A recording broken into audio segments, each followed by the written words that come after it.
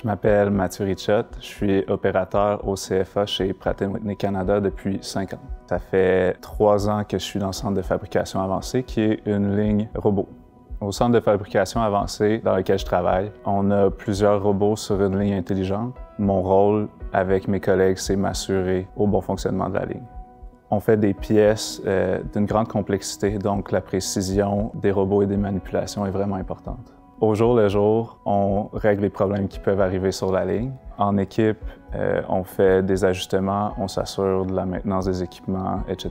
Mon travail, mais ça requiert certaines habiletés, certaines aptitudes. Il faut être premièrement débrouillard. Étant donné qu'on est les premiers intervenants sur la ligne, il faut pas avoir peur d'aller chercher les réponses à nos questions.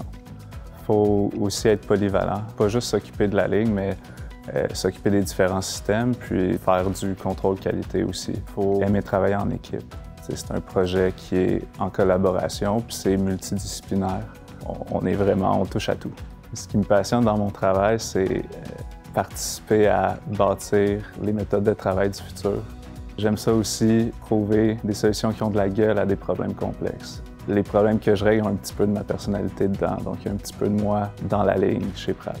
C'est vraiment un atout d'aller chercher l'AEC en robotique industrielle parce qu'on travaille en industrie avec des équipements qui valent une fortune. Donc, pouvoir se pratiquer à manipuler ces équipements-là en laboratoire dans un cadre scolaire, c'est une opportunité en or. La robotique, c'est vraiment un secteur d'avenir.